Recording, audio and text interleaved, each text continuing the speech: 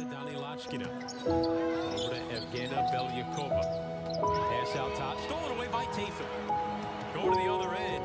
And able to finish off the play. While I was growing up, one of the biggest things we did in my household was watch the NBA Finals every year on TV.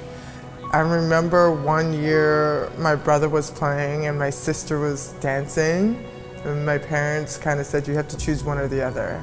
And I chose basketball. Tamara Tatham has played a major role in the success of Canada's women's basketball program. She had an impressive international playing career that included 164 games representing Canada and 157 games at the senior level beginning in 2007. That includes winning five medals, including two gold medals at the 2015 FIBA Americas qualifying tournament and the 2015 Pan Am Games. At the FIBA Americas, she was named to the All Star 5 team. Tatham played in two Olympics, 2012 and 2016. At Rio in 2016, she averaged 25.1 minutes with 9.8 points and 5.3 rebounds per game. That including scoring 20 points against China. Canada finished seventh. At the 2012 London Games, she helped Canada reach the quarterfinals, finishing in eighth place. She played twice at World Championships, with Canada finishing 14th in 2010 and 5th in 2014. Making the national team was probably my biggest memorable moment of basketball ever. And I ended up playing on the team for 10 years, going to two Olympic Games, going to two World Championships, and a bunch of FIBA Americas. Um, that was surreal for me. Her professional career from 2008 to 2017 included stops in Finland, Germany, Slovakia, Australia, and Russia. Each season, she averaged double figures in scoring. In Halle, Germany in 2011 2012, she averaged 20.1 points and 10 rebounds. The following season, she played 36.3 minutes per game, with 18.4 points, 10.9 rebounds, and 2.5 assists, leading her team to a second place finish. In 2014 2015 in Slovakia, she was named Player of the Year Import Player of the Year, Forward of the Year, and was selected to the first All Import team. Her career in Germany included twice being named Import Player of the Year and Defensive Player of the Year, First Team All Star, and to the All Import team.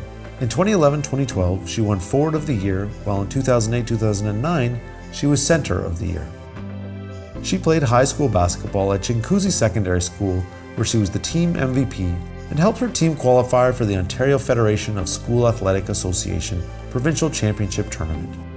She earned a basketball scholarship to UMass in Amherst, Massachusetts, graduating in 2007, starting all but three of 115 games in her four year career.